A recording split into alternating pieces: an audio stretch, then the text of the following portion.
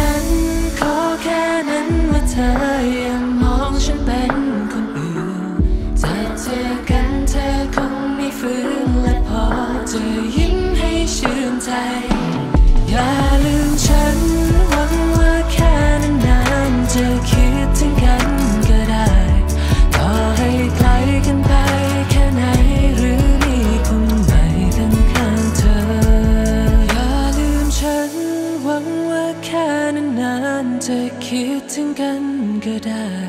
ต่อให้ไกลกันไปแค่ไหนหรือมีคนใหม่ข้างๆเธอ